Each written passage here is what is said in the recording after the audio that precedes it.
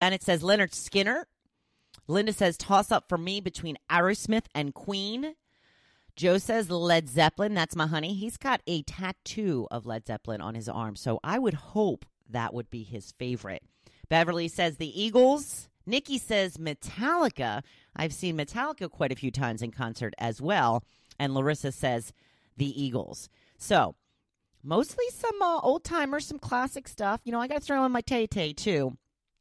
I found out yesterday Taylor Swift going to be on Good Morning America August 22nd. It's a Thursday, going to do a concert in Central Park.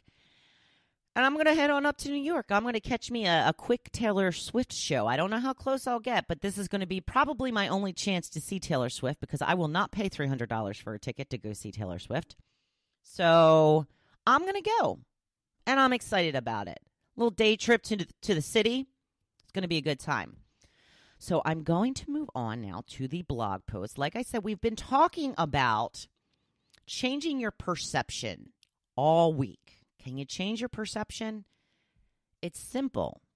As I always like to say, it's simple, not easy, but the process is simple. So I put up a couple of pictures from my favorite show of all time, Gilmore Girls, with Lorelai talking to her mother Emily. Now Emily was all in a tizzy because her mother-in-law was coming to visit, and her mother-in-law is terribly mean to her, criticizes her constantly, and she was freaking out. And Lorelai was like, "Okay, mom, here's the secret." One day I decided that instead of being hurt and upset by your disapproval, I'm going to be amused by it. So that stops Emily in her tracks, and she's like, "You take pleasure in my disapproval?" And Lorelai says, with a smile, "I encourage it sometimes just for a laugh." That's right. She changed her perception. Her mom disapproved of her life, of the way she lived her life, of the way she dresses, of the way she decorates her house, of everything. And I thought that this scene kind of summed up the family dynamic or any dynamic where people are criticizing you and judging you in a mean kind of way. So, what's great about this show is, and if you've listened to me, you know I'm a huge fan. The essence of the show is about the very difficult relationship between Lorelai and her mother Emily. Meanwhile, Lorelai has an amazing friendship relationship with her own daughter, who she had at only 16 years of age. And Lorelai has struggled with the constant disapproval from her mother, and she's had to stay in her life for the sake of her daughter. So, this is a television show, obviously much easier said than done, but it can be done. I unfortunately was never able to do it with my own mother, but hopefully you can learn from my mistakes and do better. Um, in the example at the top of the blog post, like I said, Lorelai just decided not to let it bother her anymore. She realized her mother was never going to change. She had to have a relationship with her for the sake of her own daughter. So she literally let her mother's disapproval roll off her back. Not only roll off her back, she just kind of got a giggle out of it. It can be that simple. Not easy, but simple. And we all have people in our lives, unfortunately, that are difficult to deal with, whether it be a family member, friend, or coworker. The worst is when people judge you and your decisions right to your face, which tends to happen a lot more than you would think. At least it does to me. Something that might help is to think about why this person is so difficult. Are they jealous of you?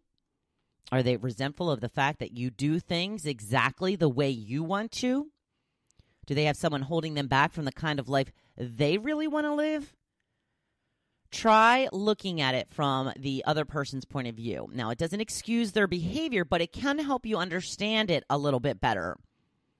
When people are rude, it really is a reflection of them and not of you. I know we've all heard this before. We let it go in one ear and out the other, but let that sit a little bit. It's so true. When people are rude to you, it's a reflection of them not you. When my uh, comes to my former partner, I believe he was jealous of the connection I had with our listeners. This is just what I think. He used to make comments that I was the star of the show. It was not something that I orchestrated. I was just myself. I opened up my life to listeners and said how I really felt about things. even controversial things, things that I knew people would disagree with me on and get mad at me about. He, however, was afraid of offending people. Never talked about his personal life.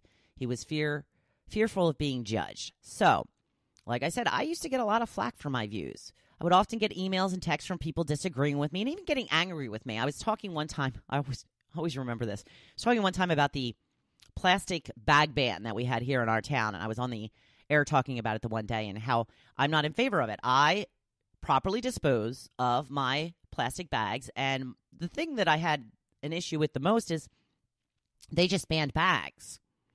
And the day before the bag ban, you could get a paper bag from the grocery store for free, but now it's going to cost you five or 10 cents to buy a paper bag the next day when the bag ban went into place. So if you don't think that these people are making money off of this, you're crazy because they are. My issue is, was always if I'm purchasing 100 items at your store, it's your responsibility to give me a container to put them in. Don't tell me I need to bring my own. Is it a big deal that I bring my own? Not really, but why should I? I'm spending all of this money at your store. The least you can do is give me a container. Give me a brown paper bag. Give me some other bag or container that I can put it in, in my all my groceries and take it home with me. Like I said, it doesn't seem like a big deal, but what if, you know, what if you went to a fancy restaurant and you had to bring your own napkin? It's the same thing in my mind. So I'm going on and on about this on the air one day, and a regular listener started texting me back and forth, and she she was mad. She's like, "You don't get it. You don't get it." And finally, I just said, "I do get it. I just don't agree. That's okay. We don't have to agree." And after that, she kind of was like, "Yeah, okay, all right, yeah, all right. I, I, I now that I know you understand, I, I, you're, you're right. You're right." And it, it really, that's we agree to disagree. It's okay. You can have your opinion on it. You can think I'm a lazy, cheap slob for wanting to use single plastic use bags and I don't care about the environment. That's not the case, but you can think that about me. I properly dispose of my bags. I use them to clean up dog poop and then I toss them in the trash can. I don't throw them in the way in the water. I don't throw them in the bay and in the ocean. I don't let them fly out of my hand and you know, I just I'm not going to get into all this although I already have. All right, I'm getting down off of my um my soapbox now. So, back to my partner. I think that he didn't want to take the risk of being disliked like I did, uh, but people didn't really get a chance to know him either. I tried to explain this to him, and I think he understood, but was still unwilling to put himself on the line because he didn't want to be judged by other people. So, okay, I get it. If you don't want to take the risk, you don't get the reward. But he was jealous of me for getting the reward without having to take the risk. He didn't want to take the risk, but was jealous of my reward. I took the risk. Now, it was frustrating that even though I knew he understood all this, he still held it against me. but, you know, there's only so much you can do. I was myself. I won't apologize for that. Some people like me, some people don't. Do you have a family member who's always making snide comments about you and how you live your life? These are people you will have to deal with from time to time, but it may be easier to take if you just remind yourself that you are who you are and you won't apologize for that. Even if you think you're difficult when it comes to certain things, you have to live for you and not worry about how it affects other people. Now, don't be one of the mean people I'm talking about. Like, don't be a jerk, but you do you. I imagine I can be pretty difficult to live with. I am controlling. I like to have my own way. I'm pretty opinionated, among other things. And I often thought maybe I won't ever get married because probably is tough to find someone willing to put up with me. But guess what? I did find someone that's not only willing to put up with me, but someone who is perfectly content to let me be me. He's not always happy about it, but content, I think, is the right word. Granted, it takes a special kind of person to put up with me, and I feel very grateful that I found him. But you can find someone who is perfect for you, just like I did, being just yourself.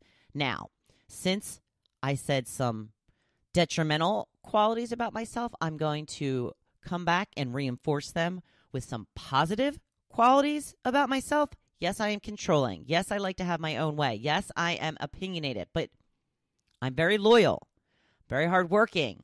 I'm very truthful. And I go out of my way to make sure that my husband is happy and to be an exceptional wife. I do the same with my friends.